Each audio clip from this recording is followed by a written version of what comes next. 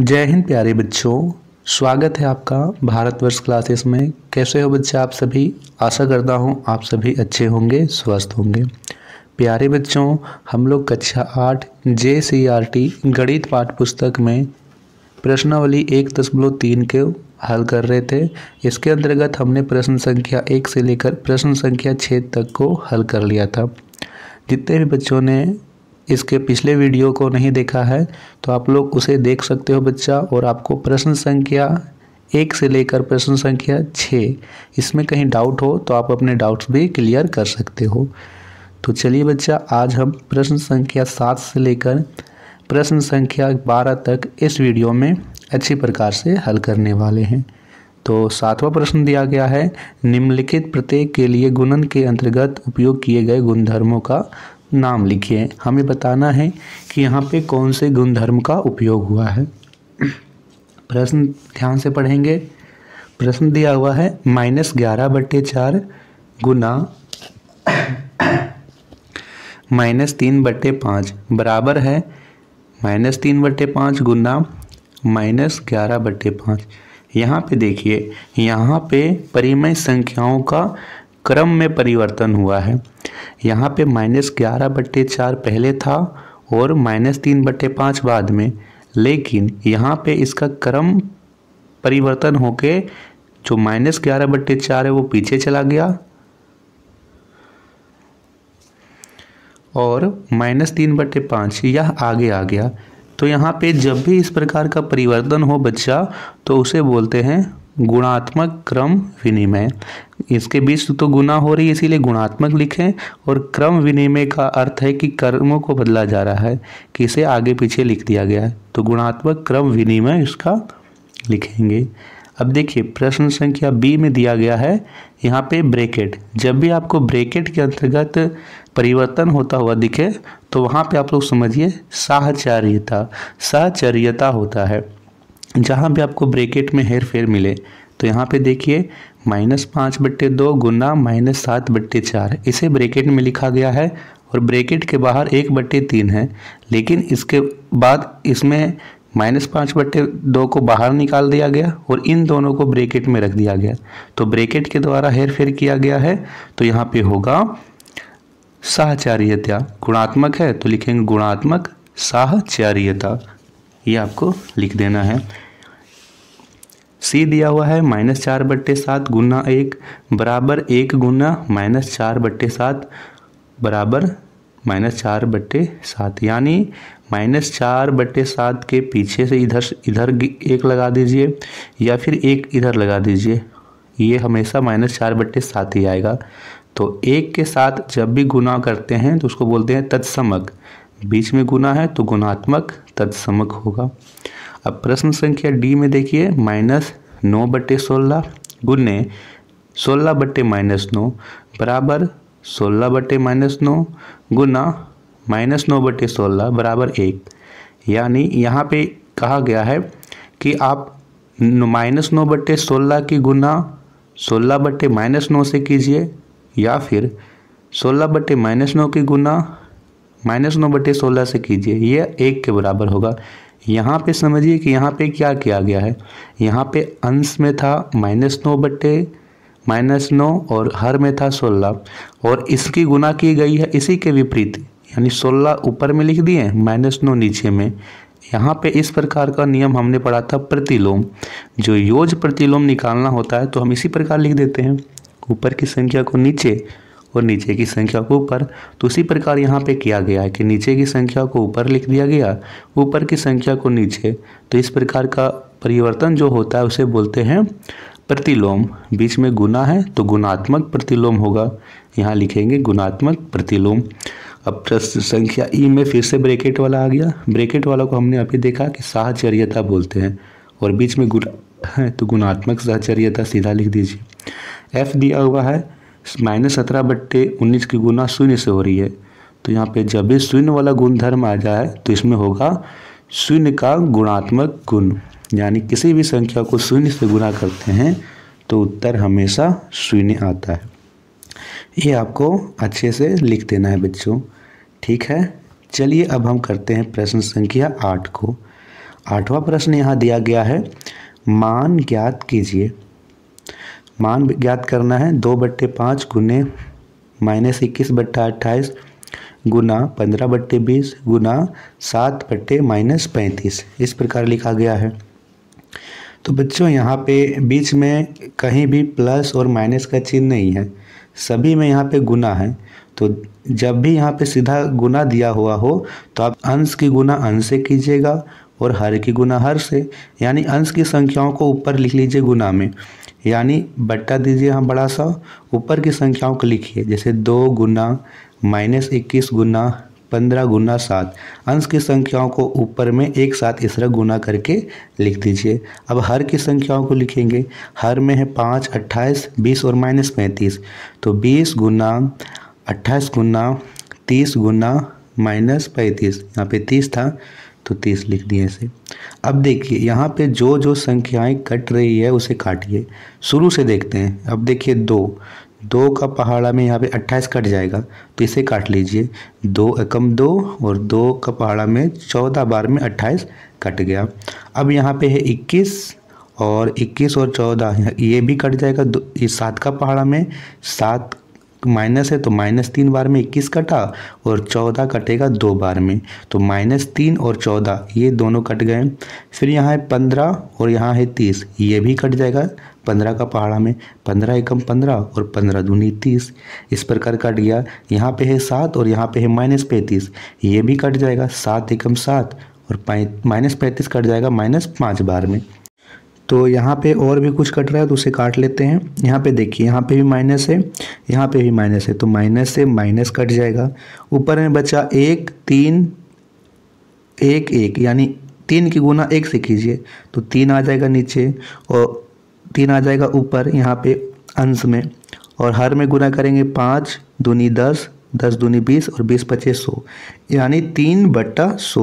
यहाँ पे इसका उत्तर आएगा, तीन बट्टे सौ। इस प्रकार से हमें कर लेना है।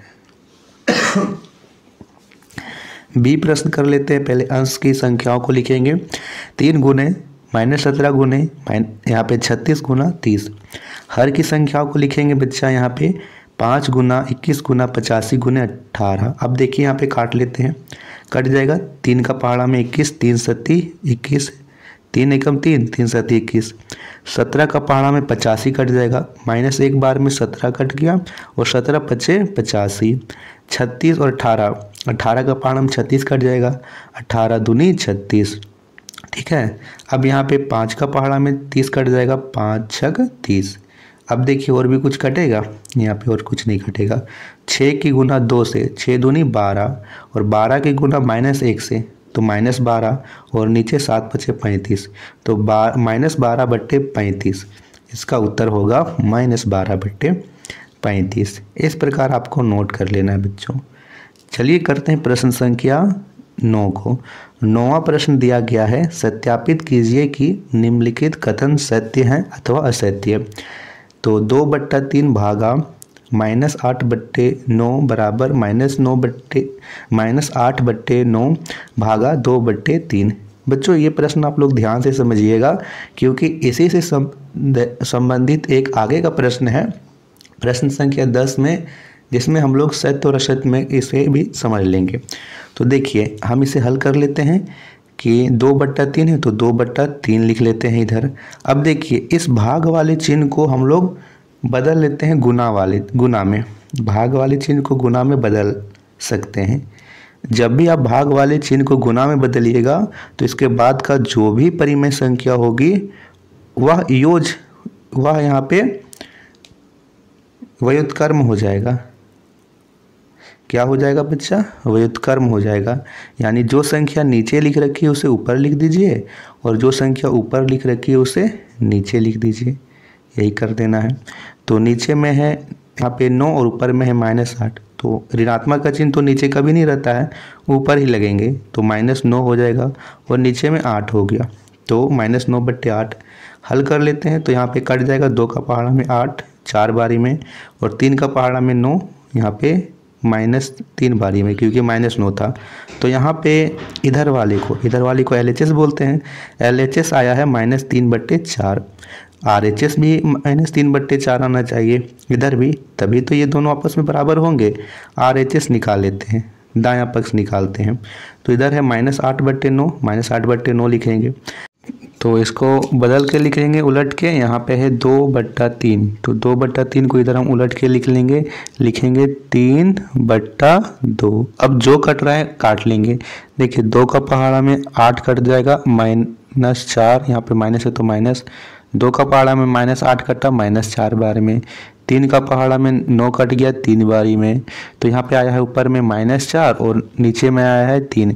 तो माइनस चार बट्टे तीन, यानी R H S, right hand side आया है बच्चा, माइनस चार बट्टे तीन। लेकिन लेफ़्ट हैंड साइड आया है माइनस तीन बट्टे चार। क्या? माइनस तीन बट्टे चार। माइनस चार बट्टे तीन के बराबर है? नहीं है। तो यहाँ पे जब ये दोनों नहीं हैं तो आप नीचे में यहाँ पे आप लिख दीजिए कॉपी में एल एच एस बराबर नहीं है आर एच एस के। ये आपको लिख देना है। जब ये दोनों बराबर नहीं है तो दिया गया कथन असत्य है। ये आपको अपनी कॉपी में लिख देना है। इस प्रकार से आपको भी लिख दीजिए इसके बाद प्रश्न संख्या बी दे रखा है। माइनस नौ भागा तीन बट्टे चार बराबर हैं, तीन बट्टे चार भागा माइनस नौ के। चलिए देख लेते हैं कि क्या ये सत्य हैं। सबसे पहले यहाँ पे एल एच एस देखेंगे। एल एच एस ठीक है? माइनस नौ है तो माइनस नौ लिखिए। भाग वाले चिन्ह को बदलते हैं गुना में तो गुना लिखेंगे। जब भी भाग वाले चिन्ह को गुना में बदलते हैं तो इसके बाद की संख्या का व्युत्क्रम हो जाएगा, यानी नीचे की संख्या ऊपर ऊपर की संख्या नीचे लिख देंगे। तीन बट्टे चार है तो चार बट्टे तीन हो जाएगा। यहाँ तक आपको समझ में आया? अब देखिए, तीन का पहाड़ा में माइनस नौ कट जाएगा माइनस तीन बारी में। माइनस तीन की गुना चार से कीजिए तो तीन चौक बारह, यानी माइनस बारह आ गया एल एच एस तो एल एच एस बराबर माइनस बारह। आर एच एस भी आना चाहिए माइनस बारह। यदि आता है तब तो ये सही है, और नहीं आता है तब तो ये गलत है। तो यहाँ पे तीन बट्टे चार है तो तीन बट्टे चार ऐसे लिख लीजिए। और यहाँ पे देखिए, भागा है तो गुना में बदलते हैं। माइनस नौ, और नीचे में कुछ नहीं है तो एक लगा दीजिए। माइनस नौ बट्टे एक है, इसका प्रतिलोम करेंगे, सॉरी, इसका योज, इसका उल्टा करेंगे तो माइनस एक बट्टे नौ आ जाएगा। ठीक है, इसका उल्टा कर दिए, यानी व्युत्कर्म कर दिए तो माइनस एक बट्टे नौ आ गया। अब देखिए बच्चा यहाँ पे, माइनस एक बट्टे नौ है, जो कट रहा है काट लीजिए, तीन एकम तीन और तीन तिया नौ, ये कट गया। एक की गुना माइनस एक से कीजिएगा तो आएगा माइनस एक, और नीचे चार की गुना तीन से कीजिएगा तो आएगा बारह। यहाँ पे आया है L H, R H S आया है, माइनस एक बटे बारह। एल एच एस कितना आया था? माइनस बारह। आर एच एस कितना आया है? माइनस एक बटे बारह। क्या L H S, R H S के बराबर है? नहीं है। तो ये कथन असत्य है। लिखेंगे एल एच एस बराबर नहीं है। आर एच एस के और इसी के नीचे लिख दीजिए असत्य यानी ये कथन गलत है। ये आपको लिख देना है। तो बच्चों, यहाँ पे हमने क्या सीखा कि यदि किसी परिमेय संख्या को भाग से यहाँ पे क्रम विनिमय किया जाता है। ये परिमेय संख्या थी दो, और यहाँ पे भाग के अंतर्गत क्रम विनिमय किए तो इसका उत्तर अलग अलग आया। तो भाग के अंतर्गत जो है, ये क्रम विनिमय नहीं हो सकता है। और साहचर्य था। यहाँ पे भी ब्रेकेट नहीं था। इसके बाद हमने ब्रेकेट लगा दिया। तो भाग के अंतर्गत भी ये नहीं है। तो ये दोनों में आपको ध्यान रखना है कि परिमय संख्याओं को या तो आप यहाँ पे गुणन के अंतर्गत भाग में क्रम विनिमय कीजिए या फिर आप उसे यहाँ पे साहचर्य के अंतर्गत कीजिए। ये दोनों जो है, वो नहीं होगा। यानी परिमेय संख्या भाग के अंतर्गत साहचर्य नहीं होती है और परिमेय संख्या भाग के अंतर्गत भी क्रम विनिमय नहीं होती है। और तीसरी बात, परिमेय संख्या भाग के अंतर्गत सदैव संवृत भी नहीं होती है, क्योंकि ये दोनों तो आपस में बराबर नहीं आए हैं तो संवृत भी नहीं होती है। ये तीन बातें आपको ध्यान रखनी है। प्रश्न संख्या दसवां इसी से संबंधित है। दसवां कहता है, ऐसी परिमेय संख्या जिसका कोई व्युत्कर्म नहीं है, यानी आप उसके हर में कोई भी संख्या नहीं लिख सकते हो। क्योंकि हर का मतलब है कि आप उसे बदल सकते हो। तो ऐसी कौन सी संख्या है? शून्य है। आप शून्य के हर में यहाँ पे कोई भी संख्या लिखो। जैसे हमने यहाँ पे शून्य के जैसे हमने यहाँ पे बच्चा शून्य के हर में कोई भी संख्या लिखा तो यहाँ पे जैसे मैंने लिखा एक तो क्या हम एक बट्टे शून्य लिख सकते हैं? इसका व्युत्क्रम तो यही होगा, एक बट्टे शून्य, क्योंकि इसके शून्य, इसके हर में हम लोग एक लिख दें। तो अब तो यह परिमय संख्या है, ठीक है? शून्य बट्टा एक, परिमय संख्या है। लेकिन क्या हम लोग इसको उलट करके लिख सकते हैं कि एक बट्टे शून्य?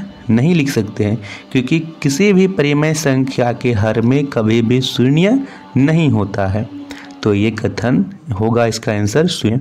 परिमय संख्या जो अपने व्युत्क्रम के समान है। व्युत्क्रम का समान है तो दो हैं, एक और माइनस एक। इसके व्युत्क्रम में आप क्या लिखिएगा इसके, ये अपने व्युत्क्रम के समान होते हैं। इसके हर में हमेशा एक लगा हुआ है और इसके हर में एक लगाइए या ना लगाइए, संख्याएँ यही रहेगी। परिमय संख्या जो अपने ऋणात्मक के समान है तो यहाँ पे होगा शून्य, ये हमेशा ऋणात्मक के समान होता है। क्या परिमय संख्याएँ भाग के अंतर्गत संवृत है? हमने अभी देखा कि ये संवृत नहीं है, क्योंकि ये दोनों आपस में बराबर आने चाहिए। बराबर नहीं आए हैं तो लिखेंगे नहीं। क्या परिमय संख्या भाग के अंतर्गत सदैव क्रम विनिमय है? यानी कर्मों को बदलने पर ये दोनों आपस में बराबर आते हैं? नहीं आते हैं तो लिखेंगे नहीं।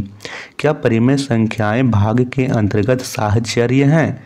साहचर्य यानी ब्रैकेट वाला तो ब्रैकेट वाला भी तो नहीं आया था। लिखेंगे नहीं।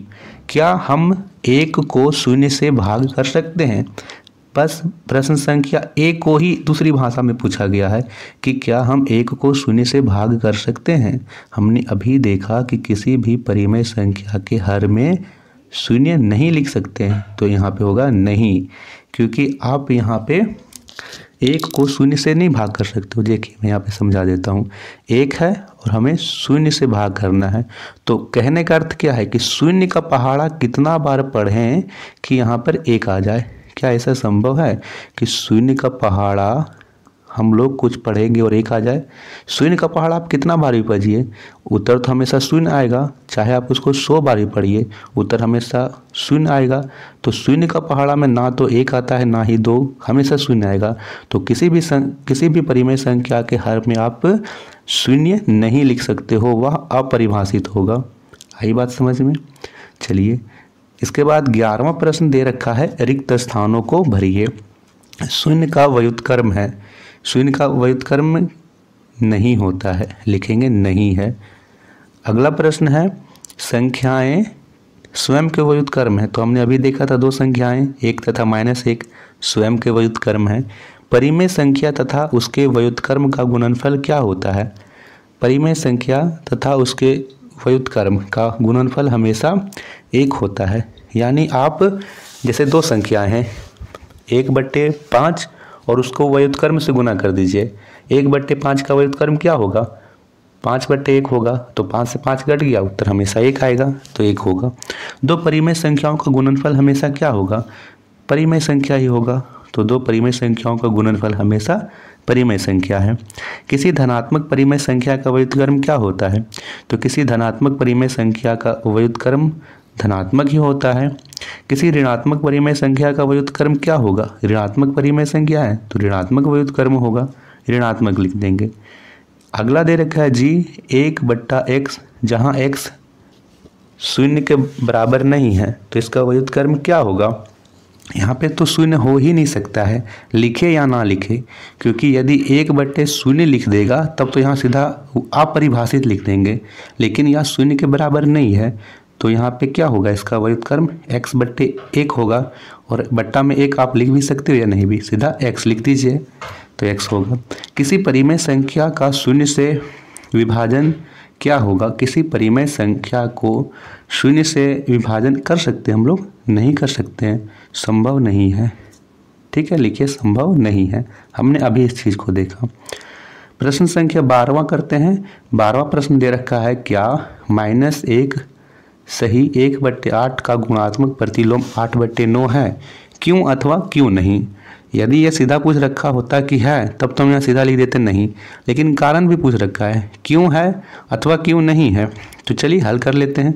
इस, यह एक मिश्रित भिन्न है, इसे भर लेते हैं सरल भिन्न में। तो इसको कैसे करते हैं? इसकी गुना करते हैं और ऊपर में जोड़ देते हैं। यानी आठ की गुना माइनस एक से होगी और ऊपर वाली संख्या को जोड़ देते हैं। तो आठ गुने माइनस एक प्लस एक, नीचे में आठ है तो आठ। आठ की एक से, आठ की गुना माइनस एक से तो माइनस आठ और उसमें एक जोड़ देना है। तो प्लस एक होगा, नीचे में आठ है तो आठ। माइनस प्लस माइनस होगा। आठ में से एक हटाएँगे तो सात आएगा। और दोनों में से आठ बड़ा है, आठ के आगे माइनस का चिन्ह तो माइनस सात होगा। और नीचे में आठ है तो आठ। ये आया है इसका सरल तो यहाँ पे है गुणात्मक प्रतिलोम, यानी माइनस सात बट्टे आठ का गुणात्मक प्रतिलोम लिखना है।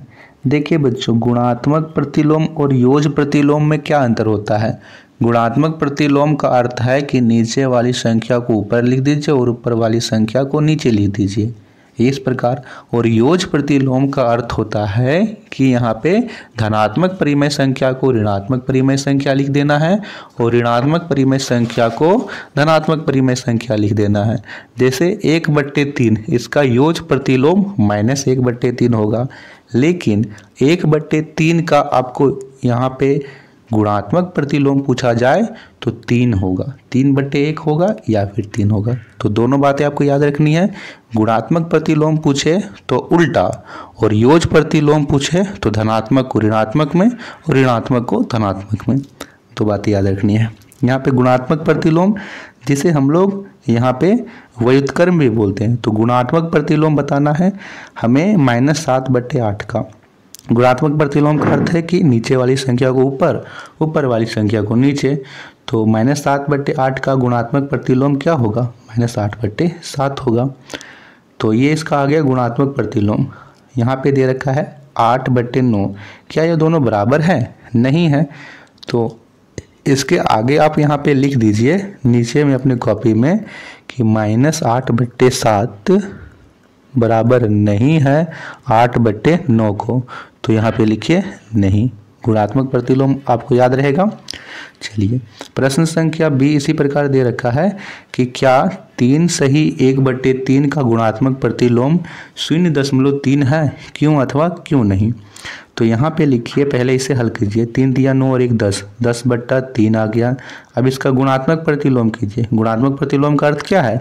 कि जो संख्या अंश में लिख रखी उसे हर में लिखिए। हर वाली संख्या को अंश में लिख दीजिए। यानी दस बट्टा तीन है तो तीन बट्टे दस हो जाएगा। इसका गुणात्मक प्रतिलोम तीन बट्टा दस होगा। तीन बट्टे दस को आप इसे भी दशमलव में बदल लीजिए। तो नीचे में एक शून्य है, यानी अंश की संख्याओं में पीछे से एक अंक के बाद दशमलव लगेगा, यानी शून्य दशमलव तीन हो जाएगा। तो यहाँ पे भी वही दे रखा था, उत्तर भी वही आया। तो शून्य दशमलव तीन बराबर शून्य दशमलव तीन है। लिखिए हाँ ये कथन सत्य है।